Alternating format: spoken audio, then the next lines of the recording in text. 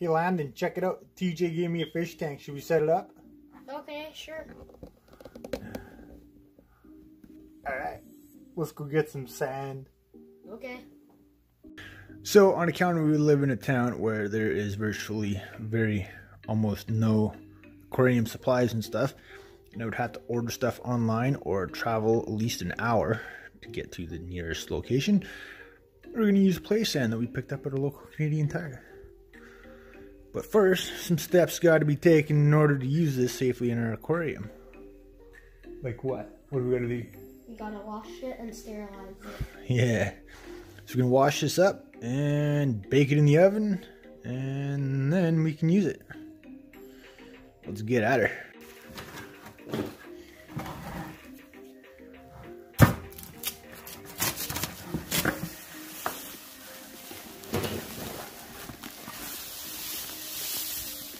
Out, please. That is a lot more sand in that bag than I thought. Wow. We probably should have did half of this at a time.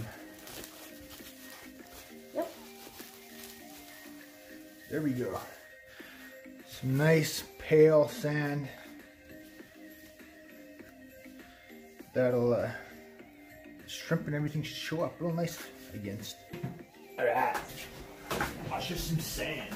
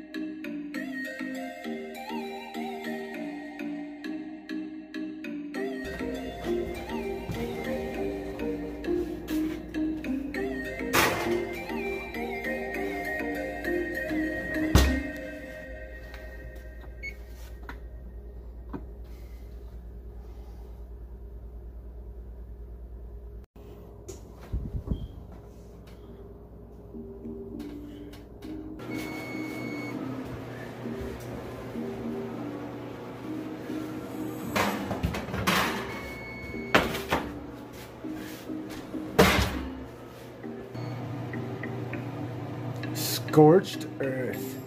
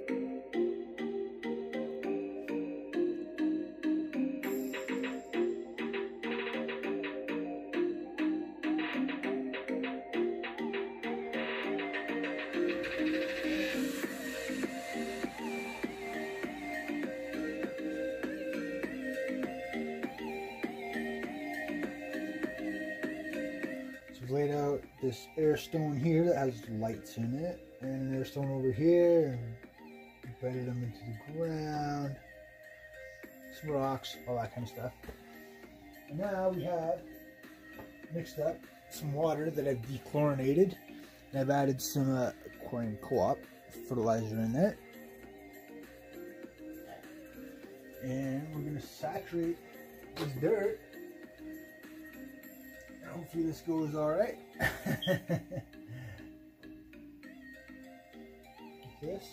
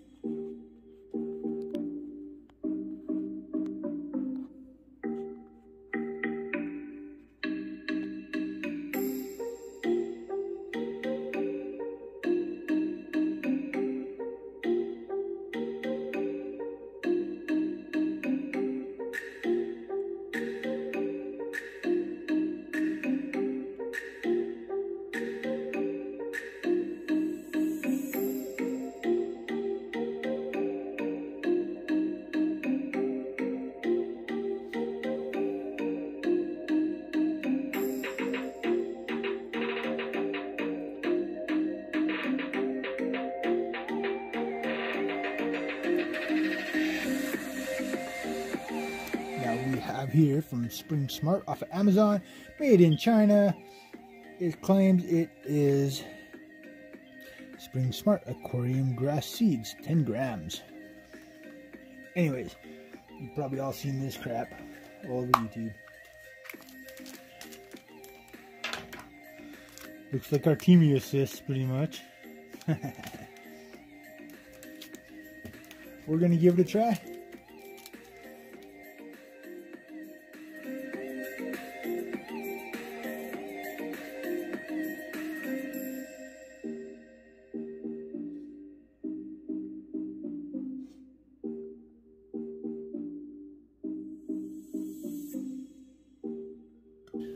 All right, we're gonna cover this up with saran wrap.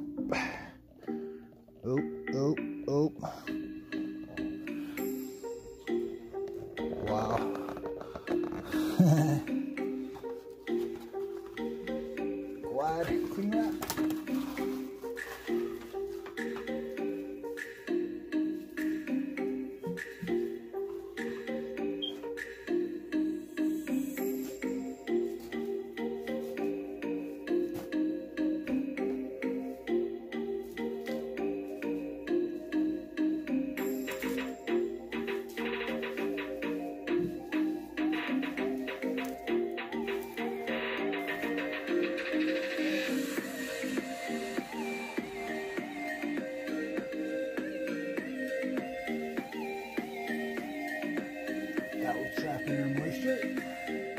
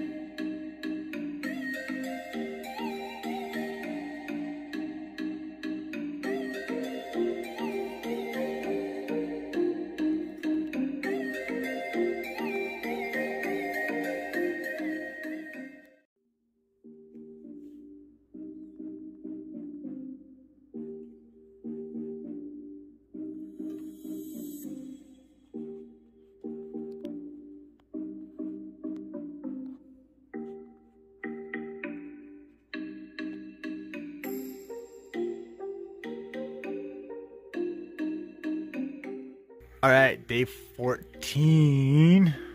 Uh, that's what the plants look like. There's a couple of other plants over there. I took clippings from the other tank.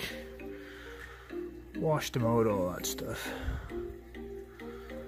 So yeah, now we gotta let this tank rest a little bit. See how it goes.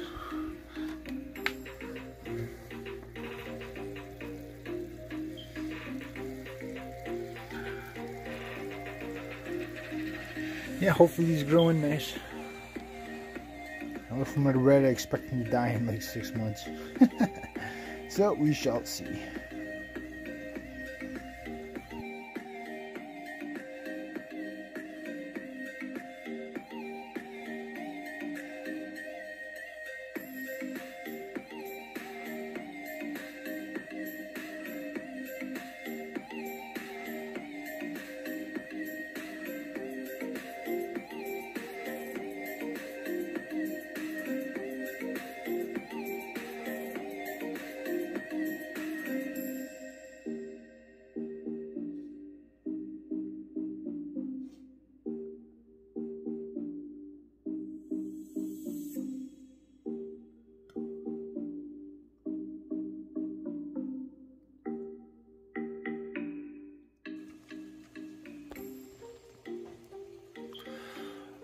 All right. So it's been about four and a half months since we first set this tank up. Um, there was a point in time where it got wildly out of control with algae. Spent about two and a half hours cleaning that out one day, and then I threw a bunch of snails in here, which are got the algae under control, but now the snails are out of control. but that's okay. They will sort of stabilize their population on their own. As food gets to be too scarce, they will die off a bit. Just full of snails. At any rate, there are some shrimp in here running around. Somewhere.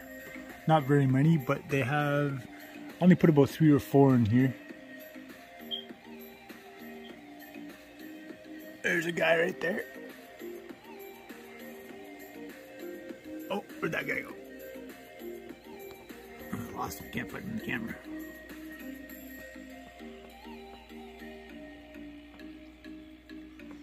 Anyways, they're doing alright.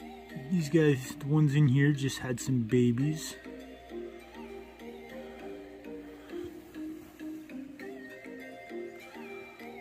Uh, those plants are kind of annoying, but they just do their own thing.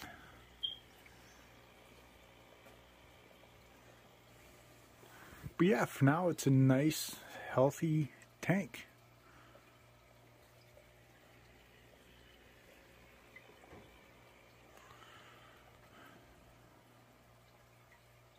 Yeah.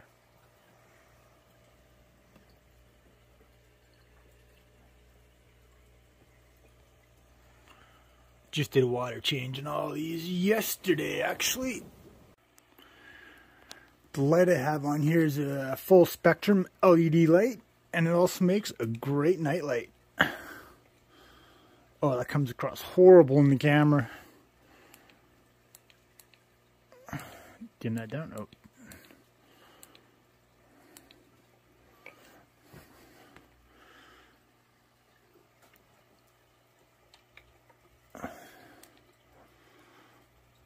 Yeah, the camera really does not do that justice at all.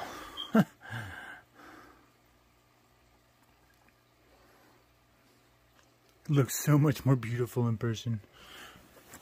Maybe it's because I'm looking through the water the glass. Nope, that's worse. Here's the other tank with the tetras. Which I would like to put some tetras in the other other tank. The one we just did. But I'm trying to track down some silver tips. The only thing is, it's not a very deep tank, so I don't know if it's a good idea. Lots of shrimp around in here. And a fair amount of snails too.